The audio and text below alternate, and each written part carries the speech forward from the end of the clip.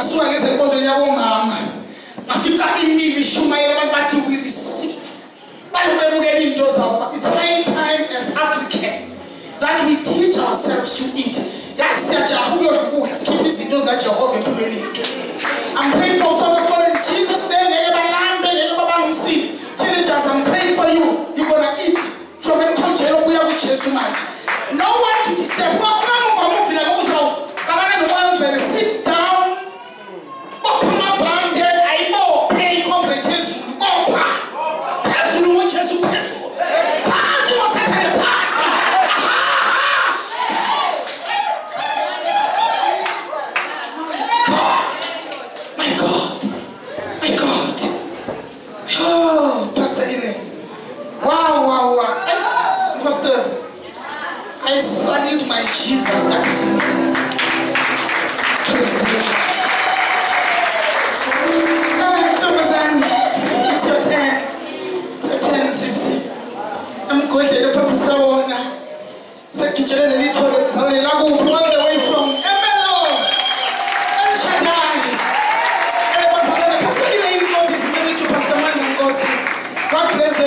children, two boys and two girls.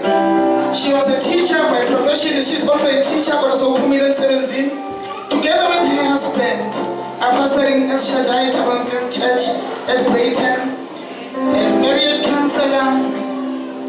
a preacher of the gospel in South Africa, Swaziland, all over the countries of Africa. We gonna And Akapumuli njalo manje ngiyafona uyakunamhlanje uthola isikhwama sisehlophe. Angazi ke mina nawe sakhaliswa nje into encane nje ukuhamba to Isikhwama sehlophe lakapho uyafuna angena itrada ahambe. Asayine phezulu ngomlayezo kaJesu phezulu. Pastor Elaine, without any waste of time, the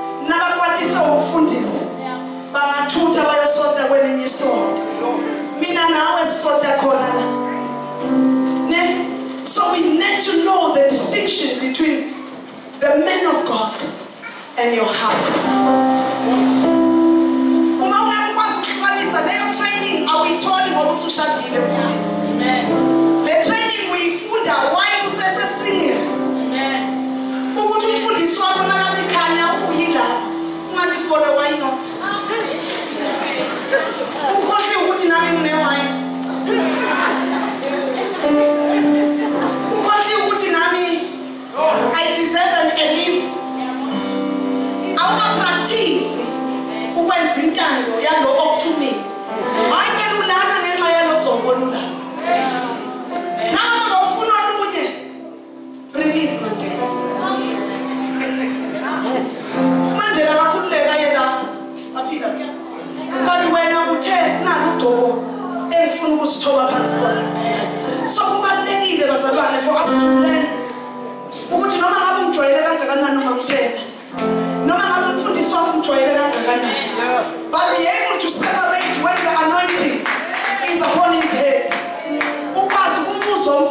ngiyakhuluma nawe ngicala ngisho ngithi kwinkinga uthola umuntu uyakhona ukuthi alalele umzalwane ambonile phansi kwesihlahla banamhla basabi phansi kwesihlahla no no no no ayisasidlaba kanjani kungena edayiloni hlala emakhawunti uthi uyovakasha kumzalwane uthole kunomunye bese uthola um eh, angisatholi ingilosi yami iyadideka lo sister lo ola ufike kanjani yena yedwa kubo bonke abakhona sisinde eh wazohlola usister ngaleyikhathi nabazali mina bogogo elingezwa uNkulunkulu afanele aliphendule senshiftile umntwana uvakasheke uthobele izigebengu zizofuyiwa emakhaya ethu bazalwane uNkulunkulu akasize ukuthi ivangeli esilishumayelayo la ngabadleli nathi singabogogo singabomama emakhaya bantu bethu yebo asikhulumeni singakhathali kodwa kuze ungena sishwaphe singasazi la ukuthi silobole nini la sesidedelwa somdedela nje wena somnika ispace sasa kuvuka isisu awazi ukuthi kwakheke khona la kabo hayi asikho lapho sila entandweni mama greetings egameni likajesu thank you for this pulpit ukuthi kunalento yabona isipiliso siyinkinga ne yakukhona lento elethi nayibila nginenkinga lamalanga ukuthi as a church we are teaching but labazalwane esikhonza nabo nabafika emakhaya abafundisi lo mlayezo walakhaya uthi hambani nishumayele lo mlayezo njengoba sininikeze wona don't preach a different gospel ibandla lakho wena mama ungakabizelwa ngepulpit ikhaya lakho uma ungakakhona ukushumayela kulelo khaya ipulpit likude ipulpit likude uma ungakakhona ukushumayela kule bandla lasekhaya fair ikoyizofika ngephasika yona ukugcala ukugcwalisa umthetho kodwa kule mandate yekhaya loyebandla lokuqala uthi uJesu kulo wesifazane uthi sisihamba biza indoda yakho uJesu uthi sikone hamba biza indoda yakho uthi sisi eh yabheda anginayo Jesu uthi right ngoba naloko othi unayo ah. uyabona ekukhoneni kaJesu umuntu uzahlulela kahle uzakhulela kahle and i kept wondering why jesu alokathi kulosisi hambe uyolibiza umyeni wakhe according to the jewish standards and laws ngaleso sikhathi umfazi bekangamele abe ethempelini it was the husband's duty ukuthatha lokafundile ethempelini akufundise ekhaya so ujesu bekabona ukuthi uyatraspasa la uma ngeke akhulume nendoda yekhaya uyosizana ukhuluma nomfazi oyothi uma ebuyele ekhaya athola inkosi imile yingakho fanele ungabi nokuthula ukuthi indoda yakhe ayikasindiswa yingakho fanele ungabi nokudlala nokudakwa ukuthi eyakhe iyezenkonzweni amen akusiyaphi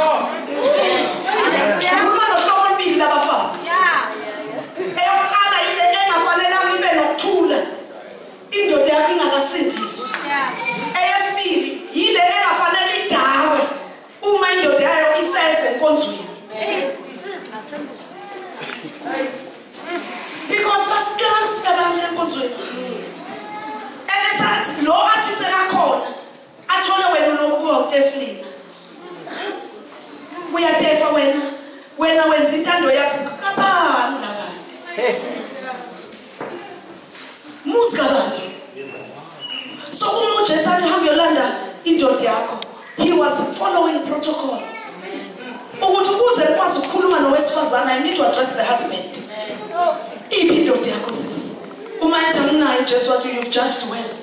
Lalela Now I become your husband. And I release you to go out with favor. Hamba and sin no more. Because it's your husband who can be able to speak lawo mazwi phezu kwempilo yakho.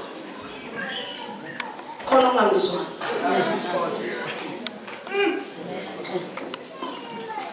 Kuneyibusisi esibuya kubefundisi elesivanga sigijimele zona kanti somyeni sona sisasele kanti nesabazali hehe sisele bonke labantu baney'busiso zabo upasta noma ngathi receive esikababa wakho njengoba ungamhloniphi ungamlaleli ungafuni ukuzwa ngoba yena uyadaka wena sowusindiswe kakhulu lithi ibhayibheli omongondli ekhaya ufana ngisho nomuntu ongakhola uyasebenza you are big in church but ekhaya bayazi imali yakho ivangela lishunyayelwe mfundisi but evangela lishunyayelwe ngisho emakhaya so ukhiphi lo weshumi naye iminikelo yonke yamaschool committee wonke asesontweni mama yena akangasweli iphinifa akangasweli impuphu umuhle kithi Because lesbosisominens omniganiti, God bless you, is actually building on the foundation of your parents.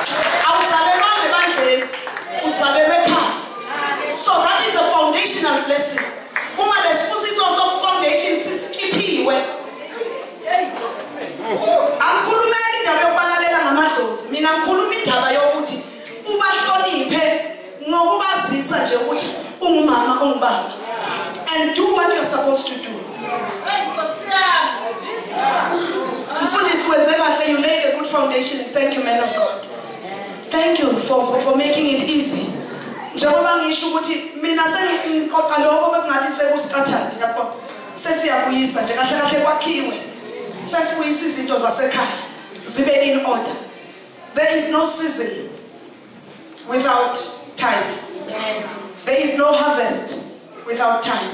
Shilo mfundisi ukuthi asikwazi ukuhlukanisa lokho. And into engiyithandayo lithi in the book of Genesis chapter 1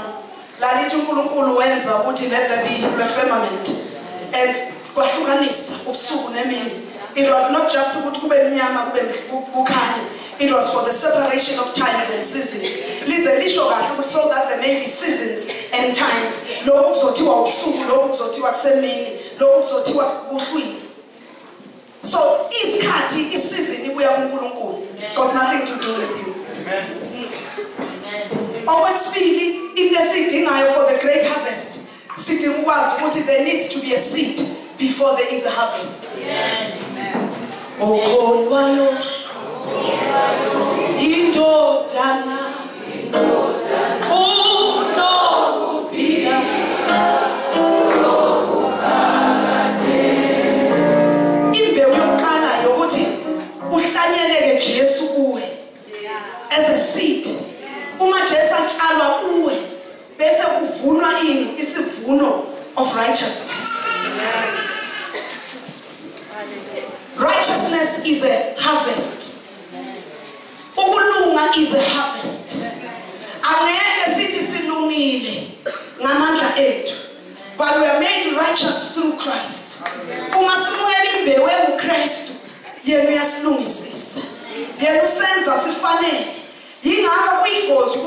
no repentance is ever necessary because bonke kubekelwe ukuthi wonke umuntu makadlule ekuzalweni because lokuzalwa kuyimbewu yakho konke okunye so uma ngabe kunenambewu engujesu